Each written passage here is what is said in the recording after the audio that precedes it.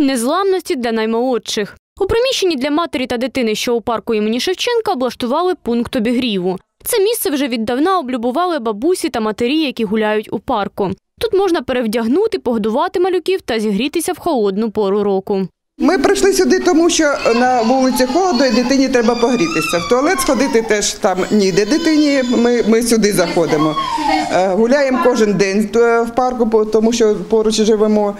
І тому нам зручно тут і передягти, і теж е, десь впала в е, водичку, десь вимазалася, помити ручки. Ну, можна е, от, загріти водичку, зробити кашку. Я давно ще приходила з одною дитинкою, щоб просила завжди підігріти їжу. Бо взимку це дуже. І влітку добре, і взимку. Ну, найважливіше це взимку. В умовах сьогодення кімнату модернізували.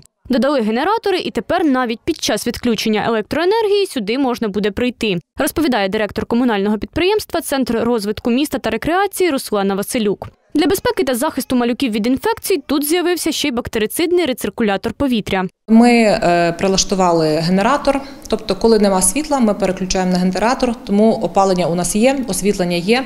Можна прийти випити чаю, е, зробити дитині якісь харчування, щось розігріти.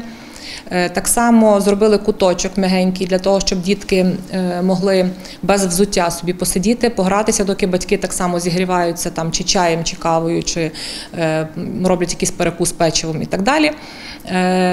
Дуже важливою річ, яку ми тут поставили, це з огляду на те, що починається сезон ГРВІ і там різноманітних вірусів. Е, Тому ми поставили бактерицидний рециркулятор, який може функціонувати постійно е, навіть в присутності людей. Цей район достатньо населений, поряд чимало багатоповерхівок. Тому неподалік функціонує ще один пункт обігріву на стадіоні рух. Сюди кожен може також прийти зігрітися, попити чаю, підзарядити гаджети, а в разі потреби отримати першу медичну допомогу. Маємо запас е, питної води, маємо технічну воду, маємо чай, печиво. Тобто е, будь-хто е, може сюди прийти, зігрітися. Ми готові розмістити орієнтовно там 50-70 осіб. Маємо так само е, джерела альтернативної енергії, тобто генератор. Якщо, не дай Боже, зникне світло, ми готові забезпечити тепло тут і в цьому приміщенні. Тобто маємо окрему кімнату, де за необхідності мама з дитиною можуть розміститися. Працюватиме пункт обігріву до 23.00. Кімната матері з дитиною з 10.00 до 18.00. Однак у разі надзвичайної ситуації час роботи буде збільшено.